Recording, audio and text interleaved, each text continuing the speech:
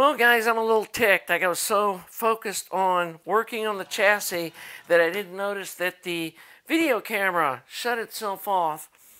Anyway, I had cut this hole out on camera showing y'all how to file this out and the camera was off.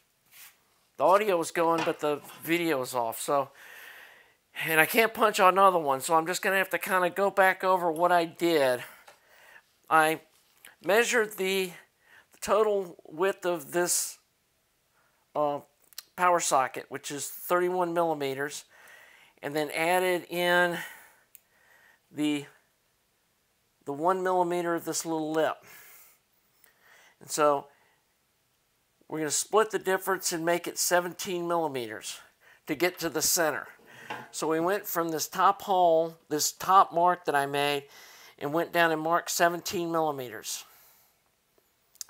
Then we, you know, drilled out with several different size drill bits the center of this up to this um, 24 64 bit in the center here. And then we used the same chassis punch that I showed y'all in an earlier episode where we punched where we punch these holes out, you just use this same one and you punch this hole out. As you can see, it's a real close fit as far as being the, the round size of this. And then I took my round file here and went off in this direction, and this direction, and this direction, and this direction. And then I came back with my little flat file and filed these flat parts in like that. And got you know and got well that's actually a little could use a little more there to get it nice and flat. And then you go off in this direction to get these two further parts out to kind of square off these bottom corners. And then you come back with a flat file and you file where it's rounded you file the flats back and you just keep working and you know slowly you know fitting this up and then looking you know looking to see you know it might be hitting on the top a little bit or it might be hitting on one side. And you just keep working it. And then if you want to move it like if you've got the bottom good but the top's hitting you can take a little more off the top or if it looks like the hole's like working its way too much this direction or that direction, you can file in the direction you need. And the hole doesn't have to be super pretty.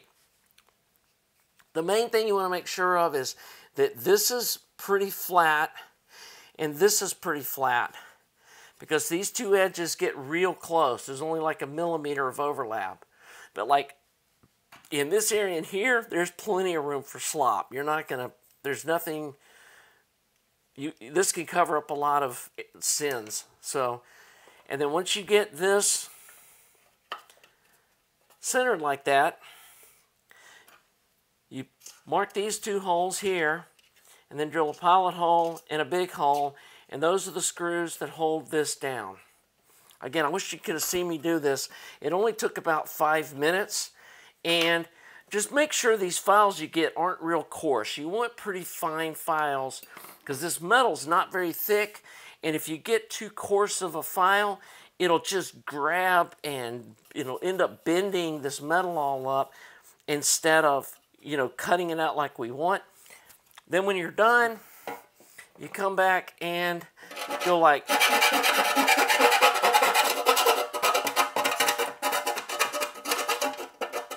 like like that to round off the inside edge and then you do the same thing on the outside like that.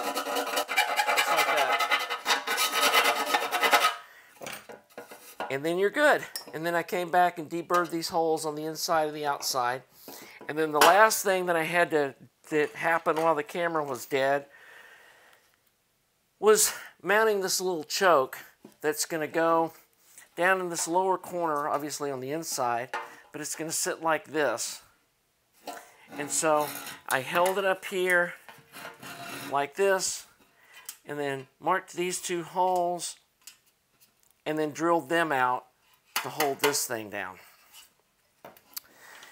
you know, again, sorry that the, I didn't notice that the camera wasn't rolling, but I got so focused. I do have the screen flipped up so I can see it, but I just forgot to look up and see that it was, that it had shut itself off. I've caught it a couple times before, but I missed it that time.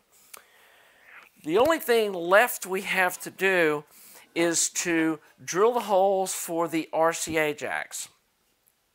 And on the input ones, I highly recommend you put them on the front here and keep them as close to these two inputs as you can because this is a very low signal level coming into the board that's going to get amplified like crazy. And so this is where you're going to pick up noise. And so if you tried to put them in the back here, and then run them all the way up to the front, even with shielded wire going past all this AC stuff, I, you're gonna, it's gonna be noisy. I just don't think there's any way to do it and stay quiet. The other thing that I did on my past one, and I'm gonna do on this one too, the output is right here in the back of the board. And I didn't want to run them out the back either. And on my personal tube amps, you've probably seen where the inputs are into the side. And this sits, like my amp sits here, and the inputs for my amp are right here. And so I just put them in the top, right up above these. Now, you may want to put yours in the side, which would be fine. If you're going to do it in the side, make sure that you think about like the board's going to be on these little standoffs. It's going to be sitting in here like this. Okay? So you don't want to put the RCA jacks, you know, right where the board is. You're going to want to put them either up high or down low. And so that's the other option that I see as a viable one. And again, the outputs are right here, so if you were going to put them in the sides, you'd put them somewhere like here or like right here. But I'm going to be doing mine on the front and the top. And let me find my little RCA jacks that I'm going to be using. Here they are right here.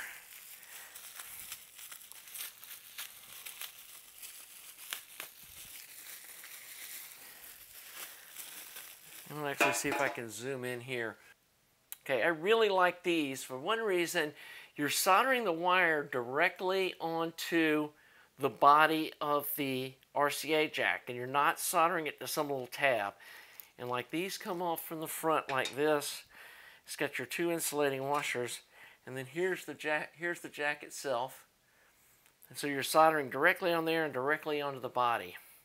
One thing you want to do before you install these or try to solder to them, you want to file this gold colored stuff off of this lug because whatever this coat, whatever this plating is, doesn't solder very well. And when you uh, file through this with like just a little needle file, it gets down to the brass and it solders much better. So, these are the jacks we're going to be using. We got, we need a white and a red of each one. And actually I found these on eBay. I can't remember the, the vendor, but you can use whatever kind of jacks that you want to use. So then we come in and measure the shoulder. There's a little shoulder here that needs to stick through the hole. You want to make sure you're measuring that shoulder and not the hole size because that's the size hole we need to drill for these to go through. So again, we go through our, our drill selection. This is a fairly big hole. I think it looks like 7 16ths. So, the let's do the ones in the front first. And we are we are on the home stretch here. Okay, so we want to put these I'm going to put mine down a little low so I can put my little Skunkie Designs logo over the top of them. So they're going to go down here towards the bottom. And when I get done with all this, I'm going to put together some, not really CAD files, but do some, um, you know, drawings of where all the holes are located and what distance they are from the edge. Because I'm, I'm gonna, I'm cheating a little bit and measuring off my previous preamp and they're at 650 thousandths and it worked really good. So I'm gonna mark, do a real light little scribe across here, not even through the plastic. It's 650 thousandths. And then, and then they're two and a half inches from each edge. So again, just a little mark like that, a little mark like that. And then the last thing we have to do is we need a ground lug to connect the turntable ground to. And it's going to be on the same plane, but it's going to be an inch and a quarter from the edge. So it's going to be right there. And then get the same 650 thousandths and mark that way. So then we come in with our automatic center punch and punch these holes.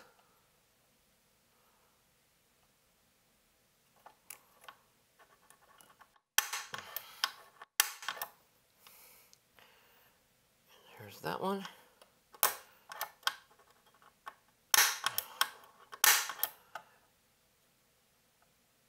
And there's that one.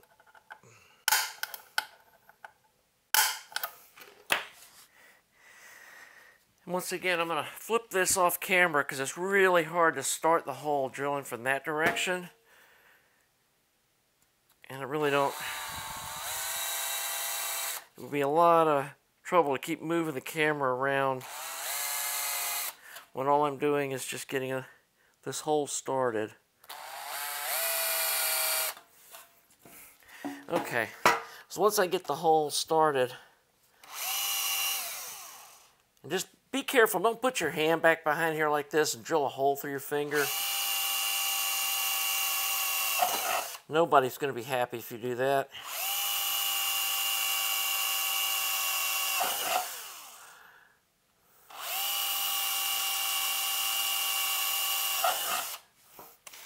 And then like we've been doing every time, we're going to slowly go up a drill size and a drill size and a drill size until we have the hole drilled.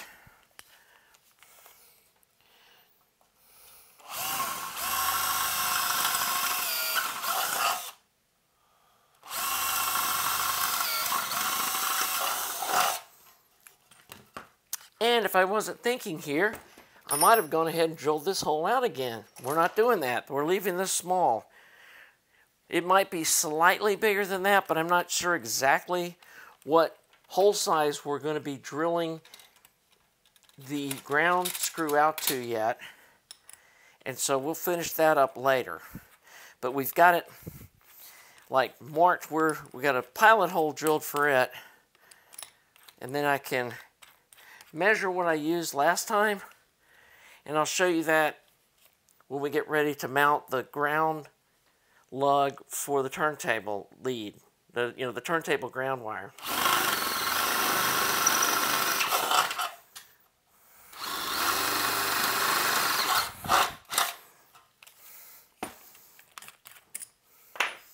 Okay, I just want to make sure that I'm getting the right size drill for this RCA jack insulating washer before I punch that hole out.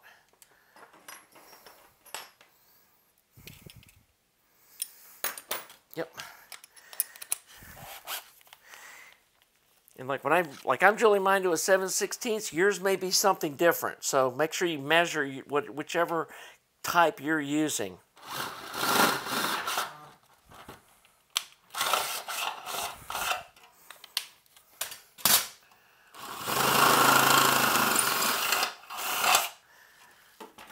And then we come back very gently and deburr that hole.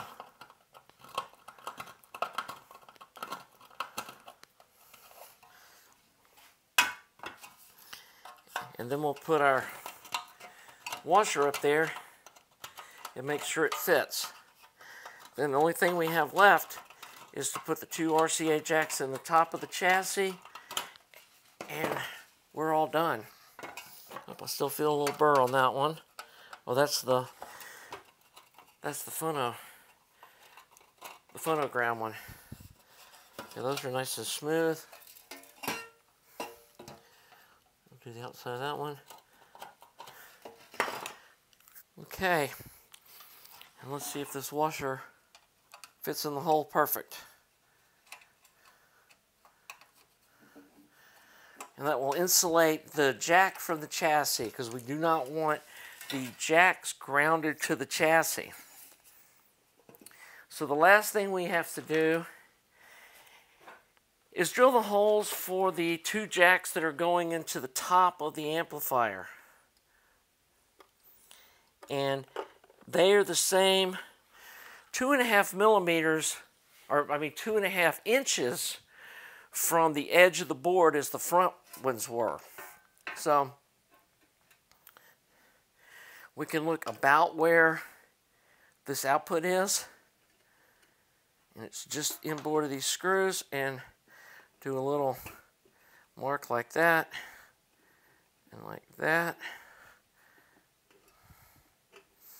And again, the locations of location of these is not like super critical. It just needs to be somewhere above this little area of the board so that they can get wired up to here and then come up through the top of the chassis.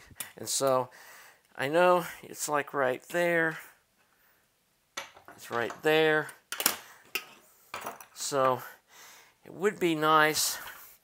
What I may do is measure off the back of this because my caliper, that's too long a distance for my caliper.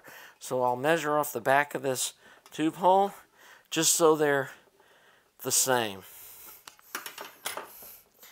And then get my wood, put it underneath.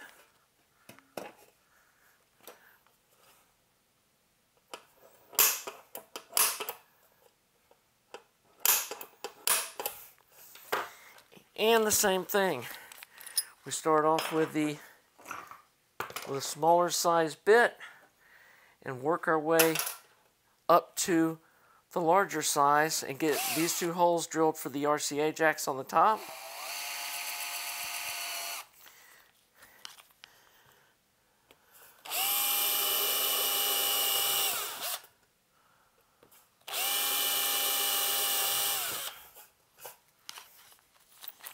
And that's going to be pretty much it for the fab work. Um, the only thing left to do is building the bulkheads. And I'm going to save that for another video.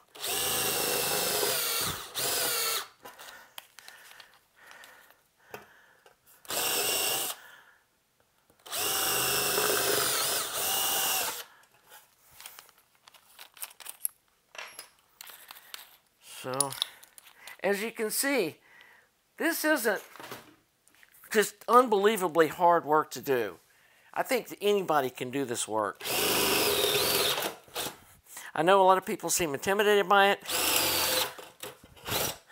but to me, this is what really is fun because at the end of the day, when you're done with it, doing it, doing all of this stuff, you've actually built this thing from scratch. This wasn't something where you just assembled, you know, assembled a kit. You actually built this thing from just a bare chassis and made it your own. And like I said, you can, you know, if you want the power jack on the side here, you could put it over here, or you could put the RCA jacks here, or put them over in the side, and you make you can make it fit your layout. And honestly, I just didn't have the room and couldn't find chassis that were really the right size to separate these into two different pieces and still fit on my shelf. I mean, I found one that was the right size for this front part. But then I couldn't find one that was small enough for this back part that wasn't like way, you know, almost the same size as this. But if you were going to put the power board like on the floor or, you know, way away from the preamp, you could build it in two different pieces too if you want and run wires between them. I know some people have said they've done that and I'm sure that works well too.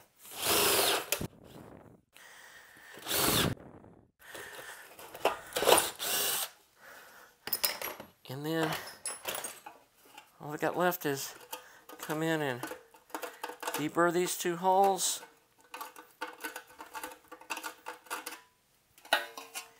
And that's going to be it.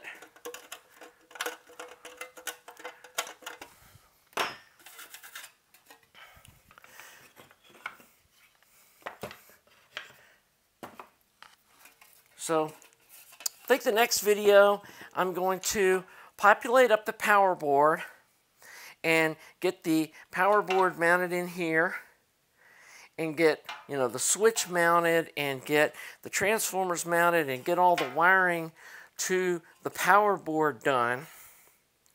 And then we'll I kind of like doing a little bit of you know not just doing everything like all the fabrication at once. Doing a little bit of fab work, then doing a little bit of, you know, like we did with this, doing a little bit of board work, then going back and doing a little bit of fab work, then a little board work, and we'll get this mounted in, and then come back and I'll show you how to fabricate these out, and they're just going to be made out of some fairly thin, let me grab this, it's just going to be fabricated out of this, you know, thin sheet aluminum. And we're gonna, you know, cut, cut some pieces, cut some pieces out and then bend the edges over. And my plan is I'm gonna have, um, you know, bend, bend 190 degree edge here, then bend 190 degree on each side. And what I may try to do is make the 90 degree edges on the top go over far enough where it uses these holes and is sandwiched between these standoffs and the screws that hold them down so we don't have like extra screw holes in the top and we'll just have like two screws here and then two screws here holding the little wings of these bulkheads in place. But we'll figure that out when we get to that part. And again, sorry about the camera shutting off while I was, you know, punching out this hole because I really wanted to show y'all as, as intimidating as this may look, as long as you've got like a fairly smooth round file and just take your, you know, this larger size, I think it's a 3 eighths, and just take your time, it, it's not really hard to do you know, you can do it with a Dremel, but those get out of control so quick. And you can be cutting along and they go, whoop, and they, you know, jump across the, the surface and leave a big mark. And I just feel as easy and as short a period of time as it takes to do this by hand, just get a couple of hand files. Like those, those two right there will do what you need. So anyway, I hope you enjoyed this video and you're enjoying the series. If you like my channel, please subscribe and I'll see you soon as we get back to work doing more work on this EAR 834 Phonostage preamp project. Have a great day.